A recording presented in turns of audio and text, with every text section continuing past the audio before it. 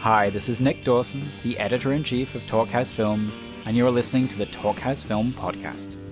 This latest episode of the podcast is the first in a new partnership between the Talkhouse and Soho House, with whom we are teaming up to curate a regular series of special advance screenings of upcoming movies, followed by a conversation between the director and another filmmaker. The conversation you're about to hear took place at Soho House, West Hollywood, after a showing of Robert Eggers' The Witch. Bought by A24 at last year's Sundance, where it won countless fans and the Directing Award, the film is finally being released, giving us so far unexceptional 2016 a real shot in the arm. It could be called a horror film, a period movie, a family drama, and a supernatural mystery, and The Witch is indeed all those things, but it also defies simple genre classification. It's a witch story about a family of Puritan settlers in 17th century New England, a folktale wrought with loving care and an eye to both historical and emotional authenticity. It creates a world that feels new to us and then draws us into the darkest corners of that world. Robert Eggers seems to have come out of nowhere with The Witch, his first feature, maybe because he cut his teeth working in theatre rather than film. Stuart Gordon, who spoke with him at Soho House, also has a theatre background and is a director of horror movies, as well as other very different films, such as adaptations of work by Ray Bradbury and David Mamet. Gordon, a Talkhouse contributor since the launch of the film vertical, loved The Witch, and has a great discussion with Eggers about everything from the influence of Kubrick, Polanski, and the silent classic Häxan to the challenges of the witches shoot in Northern Ontario, the process of casting witches, and the need for a Ken Loach time machine to the 17th century. Near the end, there was the added bonus of the three main cast members, Ralph Ineson, Kate Dickie, and Anya Taylor Joy, spontaneously coming on stage. One of the pleasures of live events. You never quite know what's going to happen. What an amazing movie, huh? Did you like it? Well, you have to say that. I, I, I saw it last night and I had to see it again tonight. I, it um, it gave my my wife wouldn't come this evening because it gave her nightmares. Um, it is a really really amazing movie. I think um, beautifully made, um, and uh, I think it's one of the great witch movies of all time. Really. Very kind. Thank you. Thank you. Um, what made you decide to make this? Uh, well, I had, um, you know, finally made a short film that wasn't completely terrible, and uh, there were some people who were interested in developing uh, a feature, and I was writing various screenplays that were just very, very strange and too dark and too genreless, and no one wanted to make them. Uh, and I sort of realized that in the climate, it, it seemed that the, the best way I was going to be able to make a, um, get a film actually made is if it was in a genre. Uh, so um, I was trying to under figure out how I could do a genre film that would be very personal to me and something that I wasn't going to be uh, like compromising who I was. And I grew up in New England, and New England's past has always been part of my consciousness. Uh, if you've been to a small New England town, you, you, know, a rural New England town, you can see that the past is all over the place, and the woods behind my house seemed haunted by the past. And uh, my um, earliest dreams are nightmares about witches, and uh, I had witch nightmares in, in, into adulthood, and uh, you know, so I thought I'd make an archetypal New England horror story with the archetypal New England spook. That's you know that, that was the idea. It it, it really is. Um, I mean, it really captures the mood and, and everything. You know, the the period, the look of the picture, the music. I mean, everything just works to, so well together. Um, Thanks. And um, and you build this very sort of cr- creepy sense of dread, you know, that that just kind of envelops you. You feel almost that you've been bewitched when you're watching this movie. Um, That's good. were were there um, other films that influenced you? Um, I, I you know, uh, this film was very uh, very researched and and uh, and it certainly in the story. Um, itself, I was trying to stick to my source material from the 17th century. Uh, you know, um, I will talk about movies, but but that was like something I was really thinking about, and and you know what was really interesting is that uh, the you know the re- the real accounts of witchcraft and and also the folk tales and the fairy tales, you know, were were really the same, uh, and uh, and I can I'll talk about that later, but um, but you know, so so it's like what are what are what are the tropes in all of these accounts? Like those the ones that always happen they have to be in the story. Uh, what are the ones that speak most personally to me? Those have to be there. And then what are the strange uh, exotic things that are kind of half forgotten like for example the hare like the h-a-r-e hare hares aren't in american mythology really but in european mythology it's like a, a big deal. So that, that that kind of stuff definitely needs to be there. But um yeah i mean you know i, I like bergman and dreyer and the kind of like canon of like you know great European art house cinema that is snobby and whatever. Um, but like you know, The Shining um, is a film that in my early mid twenties I was watched countless times to try to dissect and figure out what made it tick. And I think, sort of embarrassingly, this film smells a lot like The Shining, uh, but uh, I don't think it would work as well without it.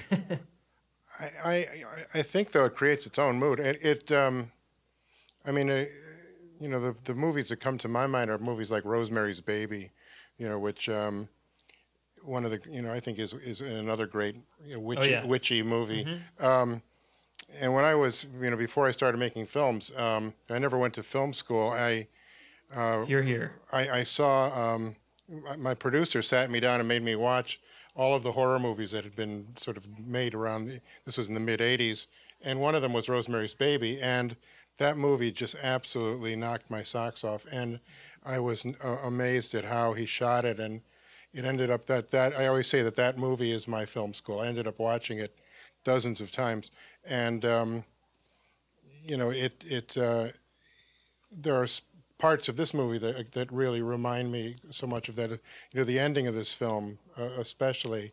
I, I like Polanski, uh, but it, he certainly wasn't like he wasn't big on my in my mind with this. But uh, you know, well, Craig Lathrop, the production designer who you've also worked with, he he kept saying like, "This is Polanski. this is Polanski." So so uh, so yeah, so that that definitely and and and, and uh, one of my close friends who art directed the reshoots felt the same. So it's definitely there. Another actually a, a, film, a witch film that was uh, very influential is uh, is the silent film Hex Häxan. Häxan, yeah. Yeah, I, I, mean I think the witches in that film look close to to my witch and and also in in that film like even though some of it is kind of hokey by today's standards because it's a silent film because like you you you don't like hear everything uh, you have to use your imagination to finish it, and it, it can be quite effective. And and there are, are these moments in this film where there's no diegetic sound, uh, and and I and I think some of that comes from my my love of, of silent films and and uh, and, and yeah and, and yeah. Um, just out of curiosity, have, uh, how many here have seen Häxan? It's a it's a pretty obscure movie. It's um, I think it was made in the twenties, nineteen twenty four. I think. Um, yeah and it uh, it was just on television on Turner Classics uh, about a, about a, two or three weeks ago, and it was on like uh, you know I think it started like around. It's a long movie. It's like three hours long. Yeah, it's really long. and and it's got all and it's all about witchcraft, and it's got all of these scenes in it of you know. witches' sabbaths and with all these naked witches writhing around. You know, it's very much like your, your the ending of your movie here. Uh, and you know with all these old hags that are you know um, becoming witches and and so forth. Um, that's one of the things I wanted to ask you about was how you found your witch. Yeah, uh, I, I mean, we we were basically, uh, you know, auditioning old women who looked like archetypal like archetypal Goya esque witches uh, who uh, were willing to take their teeth out and be naked. Uh, you know, we had a, a big lighting test with our witch. Uh, she had I, I don't it doesn't appear quite as dramatic as I would like, but she had very severe severe scoliosis, uh, and we were just trying to like figure out how we could with a single source that was authentic to like her hovel, how we could really light her effectively. I um, I've done three movies about witches, Yeah. and one of the things I've discovered is that um, when you get actors in, or actresses in a room and tell them that they you want them to be a witch, i i- it's one of the most amazing things you'll ever see. It's like they become incredibly liberated. they suddenly just become, you know, they go from being these very polite, proper people to becoming these Yeah. and and just screechy, weird. You know, I mean, it's like all this witchiness. You know, it's almost like women. I'm generalizing here. Have that inner witch with you know that's just been dying to get out. You know, um, and and when it and when it does, it's like holy shit. I mean, it, incredible. Um, but I also, I mean, the other thing I have to say is that this the acting in this movie is so spectacular. I- It, um, and I think you know you've got you know there are people that I whose work I'm not familiar with that I think just hit it out of the park. I mean, every single one of them. Yeah, I mean, I was really, really fortunate. It took it took you know four years to like research and write and also and find financing. You know, I, like the the longer it took to find financing, the more time I had to research. Uh, and I and I just I didn't want to make the film if I couldn't make it uh, in a way that could really transport audiences back to the 17th century, and if I couldn't you know build the the the uh, farmstead out of the correct materials and the clothing the, correct way, uh, and use actors from the UK. I, I didn't want to do it, so I kept waiting. But finally, we, we, we I found investors who really got my vision and, and, and trusted me to do what I wanted to do, and they let me cast whoever I wanted. Uh, I think if we were in a situation with you know maybe an inappropriate star uh, that we were like you know please please help our little movie be seen, uh, we, we could have been in trouble. But but the but but uh, yeah, I got to cast re- really excellent actors and also really um, good people. I was looking for people who were good, good people because the shoot was very difficult, very remote, um, and not cushy. But also because we were going to be going into such like dark places psychologically, I needed people who were going to really um, support each other and, and, and, and, help each other get out of that stuff. Did you see? Did you cast it in, in Great Britain? Yeah, yeah, um, and um, I think you know, I it, potentially we could have found you know the adults uh, elsewhere, but um, but it was really important to me that the kids, the young kids, were using um, their own accents uh, and um, other. It just because like you know, as sort of precise and stylized as the cinematic language and camera work was, the acting needed to be sort of you know Ken Loach time machine into the 17th century or as close as we could get. Yeah, yeah. You really you really feel that. Um, how did you find your your, your, your lead actress? Um, I mean, you know, uh, we just had a great UK casting director, Kharmel Cochrane, and, and Anya was the first person on tape, but she was a former model, and I was kind of suspicious. Uh, but um, you know, when when when uh, when I saw her in person, was working with her in person, it was clear that you know um, she she would never be able to be to survive in Puritan uh, society, um, which made her a good choice, and and and she also uh, you know is extremely facile with with the language. Uh, but and she's extremely enigmatic. Like you, you know, you, you I can stick my lens like right up inside her, up in her grill, and you you, you, you want to know what she's thinking, but you can't uh, figure it out, which was very crucial for the character. I, I read like, that your background is in theater. Is that right? Yes, uh, and I know yours is as well. Yeah. Yes, uh, and uh, yeah, I, I started in theater, and uh, I was like designing and directing uh, stuff off, off, off, off. Uh, you know, What kind of shows did you do? Uh, I mean, I did Shakespeare and uh, and, um, and and other classical stuff. I mean, the the the, the thing that I'm the most proud of was a street theater version of Faust that combined Goethe and Marlowe and some uh, puppet traditions uh, from the 19th century, and it was pretty weird. When you when you started working with the actors, did you rehearse with them? Yeah, we really had to. I mean, first of all, we had to get the the that the the, the trust, and we had to build a family so that we could tear the family apart. Um, but uh, but additionally, we had a 25 day shoot, which for you know our budget was eh, great. But for uh, what I was trying to do was was very very tight, Sure. and uh, and we had like this super specific blueprint of the camera work. It was almost cut in camera. So people, you know, so that so everyone, but you know, before we started rolling, they need to know this is how you milk a goat. This is how you use a bill hook. This is your way around the farmhouse, and and and, and also just the blocking in, in general. So yeah, we, we rehearsed. Um, it really shows. I mean, I think the you know the, the acting in this is. I always I always say that good acting is the best special effect, You're you're right. and and in this, it's like you really do get this sense of uh, just this growing dread, this sense of you know uh, something is terribly wrong here, and um, and it's all really the actors who are who are doing the, the heavy lifting here. oh yeah, I mean they- they're they're really they're really incredible. Um, I see some of them creeping in. Well, let's bring them up. Let's bring them up, up on stage. Yeah, let's do it. Please. Uh, so uh, here, Kate Dickie plays Catherine. You'll notice she's not from Yorkshire, and uh, and uh, Ralph Ineson is William. Please sit you're down. fine, no, you're. You're, You're great. Hi, nice to meet you. Yeah, fantastic work. Anya's on her way. She's just at the toilet. you want to sit down? No, Okay. Um, any?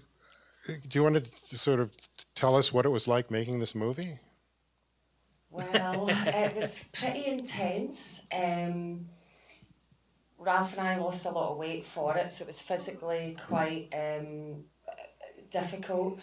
And um, the kind of only way we could really do it justice was to um, go for it 100% um, and try and make your beautiful script come to life.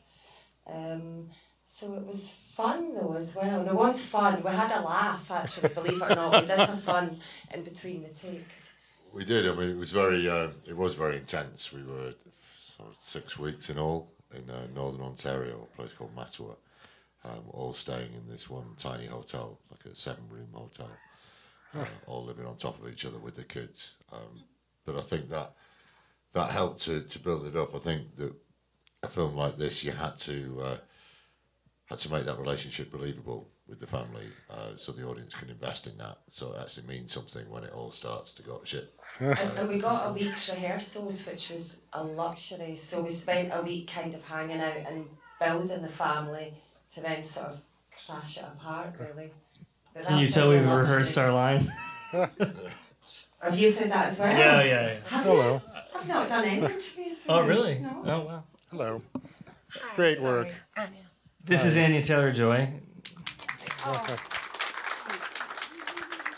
Yeah. Uh, well, Hi.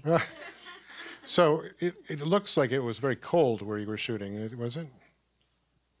It was very cold at the start, yeah. It Yeah, started off yeah. really cold, but by the end, uh, the black flies had come out and it started to get really hot. And those wooden We uh, we uh, woolen we, we costumes were very hot. yeah we we originally thought we were going to be shooting in in March using March for November, but the snow was still up to my testicles in March.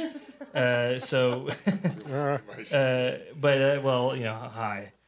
Uh, and and so we, we we kept pushing, uh, and then we had a very limited window when it looked like November, and so basically we were pulling buds off the trees like all the time and pulling green grass out all the time to try to you know keep it looking gloomy. it does look gloomy. It really does. um, and rough. It looks like it's a hard life. I mean, that's and and I. lo- It's funny watching it the second time. I was picking up on things. I mean, one of the things that knocked me out was when you say to your father, you know, you can't hunt. You're you're a terrible farmer. You know, it's like, what are we going to do? You know, Yeah, I mean, I think that. Thank you. Um, just every day was such a struggle. Like everything was so complicated all the time, and especially, I mean, obviously for everybody, but definitely for women. You know, it was really, really difficult. And so, I love that scene. Actually, it was. In the 17th century, This is true in the 17th century. not, Um, not on the shoot. We not on the shoot. Oh no no no no! I meant for the Puritans, not for us. We were great. Um, but actually, it's really funny. So we did that scene um, in our audition, and we didn't really change anything when we actually shot it. it just kind of it it worked out. It was great. There's a, a great book I read a, a, a couple of years ago called Mayflower. I don't know if you've read this, but it's about the you know the pilgrims and the first Thanksgiving and so forth, and it just gives you this sense, and this movie really captures it, of how tough it was, you know, just to survive, you know, and um, and I love the scene where you say, "I want to go home," and he's saying, "Well, what? Back to the colony? No, no, let's go back to." I mean, by the time you meet the family, I mean, we talked a lot about all the love that would have been there before you met them, because in England, we feel that Catherine and William had a real love story. But by the time you meet them, he's already kind of taken her across the world, away from everything, and then, you know, then we get banished from the plantation, and then the baby goes missing. It's not the happiest time of their marriage. But again, I mean, they've had they've had a proper life in, in Yeah. England, uh, a house with glass in the windows and, and these kind of uh, luxuries, as it were. And yeah, they've been taken to a to quite a place by the time we find them in the script, especially six months after the start. Um, yeah, when things have continually gone so wrong. Well, my wife was, you know, wondering about, you know, you know, you we see the scene of you coming to the, I guess it's the, the meadow where the where the you're going to build the house. So the, you know, the scene we don't see is you you actually building these houses, you know, uh, which must have been, I mean, I mean, the building of the, of the farmstead is not in there. Uh, I will say that the house is um, a bit too big uh, than would be accurate, uh, but uh, we had to make it a little larger to, to film in. Uh, also, there's a bit too many windows, but we need to light them. The windows are a little too large, but we needed to have that natural light. Um, you know, also the garret the, the, where the children are, they probably wouldn't have bothered with, with one of those because there would have been a tremendous amount of labor to saw the yeah, yeah. planks or to or the tremendous amount of money to buy them from a fr- frontier lumber mill. Uh, but um, I wanted to have that Hansel and Gretel moment of the parents uh, overhearing their children, and certainly those kinds of garrets existed, but uh, pro- not this family probably would not have bothered. Well, the, the thing you're talking about with windows, you know, there's a, f- you mentioned that you had went visited S- Salem, Massachusetts, um, you know, which is of course where all the witch trials took place. And there's a house there that's called the Witch House. And um, I had seen, you know, when I was working on this movie, um, From Beyond, there's a, I, I wanted a creepy looking house, and I looked at a picture of the witch house, and I said, that should be the house. And I um, had them, you know, they, they built a half scale version of it for the movie. Um, and I, based on the size of the windows, you know, to kind of give a sense of, you know, we know a window, you know, what the dimensions are. And um, I, a few years later, I went to Salem and visited the witch house and discovered that it was actually the same size as the half scale house that we had made Yeah. because because the windows were like six inches, you know, by Yeah. six inches. Uh, because, like you say, glass was almost impossible to get there. and, and also like they also you know they wanted to keep things out it wasn't about like look at the great view it was like keep everything out Yeah. Yeah. But uh, y- you know, capturing That's just cool. th- that life. Um, well yeah i mean like a, a lot of uh, you know experienced farmers came over here and they really didn't know what they were doing because uh, the land had been cultivated for generations in england but but uh, they were you know turning over new soil here i mean you see all these uh, shoddy you know stone walls all over new england and and every one of those stones was a farmer saying oh god i gotta get these out of the ground yeah, yeah, yeah. Now the movie is opening in a in a, a week, right? Yeah, uh, February 19th. Yeah. And um, it's going to be playing uh, across the country. I'm assuming. Yeah, yes? it's uh, everywhere. Oh, good. Yeah. That's good. And uh, do you have a next project that you're working on? Uh, yeah, I'm working on a medieval epic right now. Wow. Can you tell us more about it? Not much. Uh, it's uh, but um, you know, it's it's called The Knight Okay, with a K. with a K. Cool. um, but I'll just say that you know I have um, a shelf and a half on one bookcase full of witch books, and I have an entire bookcase devoted to the knight research. So I'll say that. Uh, will it involve the supernatural? Uh, I hope so. Oh, all right. Okay, good. Well, thank you all very much. This has been wonderful. It's great to Yeah. meet you guys. Thank you. Yeah, great pleasure.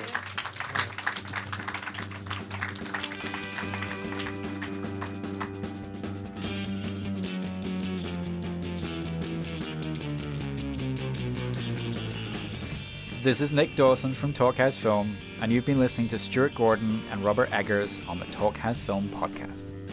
This episode was engineered by Derek Olds and edited by Elia Einhorn. For more filmmakers talking film and TV, visit thetalkhouse.com slash film. Subscribe to Talkhouse Film and Talkhouse Music podcasts on iTunes, where you can find all our previous episodes. And while you're there, please rate and review if you can.